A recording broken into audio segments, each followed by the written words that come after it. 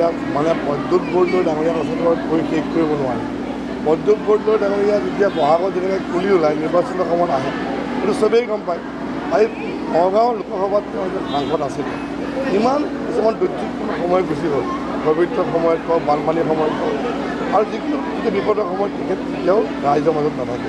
আৰু আমি যিমানো দেখা পাইছোঁ যে আজি ৰাইজৰ পৰা আঁতৰত থকাৰ কাৰণে এটা সময় এনেকুৱা হৈছিল যে তেওঁৰ এগেইনষ্টত যেতিয়া পোষ্টাৰ মাৰিছিল ৰাইজে যে সাংসদজন নিৰুদ্দেশ হৈছে সাংসদজনে কোনো সহায় নাপায় ৰাইজে যেতিয়া ভোট স্থান কৰে যেতিয়া বিপদৰ সময়ত যেতিয়া ৰাইজক নাপায় ক'বই আৰু এতিয়া ক'ৰবাত নে ক'ৰবাত তেওঁ কয় যে নৰেন্দ্ৰ মোদীয়ে বোলে পইচা দিয়া নাই সাংসদক কিন্তু মই কিনো কথা মই নাজানো সেইটো বাৰু চবৰ কাৰণে হ'ব সাংসদ যিমান আছে কিন্তু আজি তাৰিখত মোৰ খবৰ হৈছে যে তেওঁ সাংসদ বুজি ব্যৱহাৰ কৰিব নোৱাৰিলে অৰ্থাৎ তেওঁৰ দায়িত্ব কিমান ৰাইজৰ প্ৰতি গতিকে আজি তেখেতৰ ইয়াত স্থায়ী এটা ঠিকনা নাই নিজৰ কোনো ঘৰ নাই।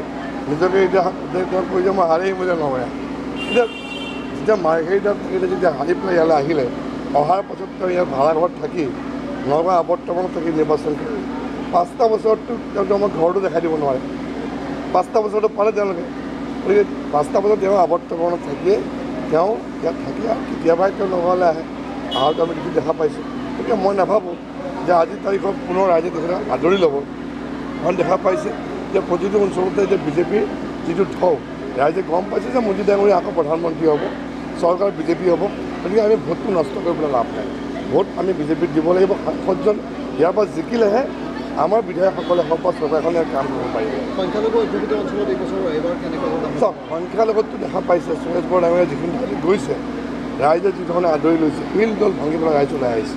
আৰু তেওঁলোকে এইবাৰ গম পাইছে যে যি ধৰণে এটা সময়ত যিটো কথা কংগ্ৰেছে কয় যে কংগ্ৰেছ মানে আলিয়াৰ প্ৰতি আৰু বিশেষকৈ মুছলমান সম্প্ৰদায়ৰ মানুহখিনিয়ে ব্লেকমেইলিং কৰে। কেনেকৈ ব্লেকমেইলিং কৰে? যে কংগ্ৰেছত মানে ভোট নিদিলে তহঁতি ইয়াৰ পৰা যাবগৈ লাগিব। বা সেই ধৰণৰ কিছুমান যেতিয়া ভয় ভীতি খুৱাই পেলাই ভোটবোৰ লয়।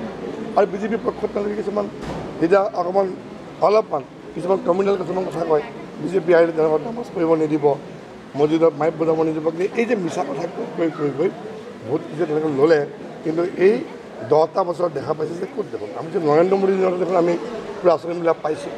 আমি এপইচা নিদিয়াকৈ আমি ঘৰ পাইছোঁ। আমি এপইচা নিদিয়াকৈ আমি ৰেচন কাৰ্ড পাইছোঁ অৰুণোদয় পাইছোঁ আৰু বিনামূলীয়াকৈ আমি গেছটো পাইছোঁ।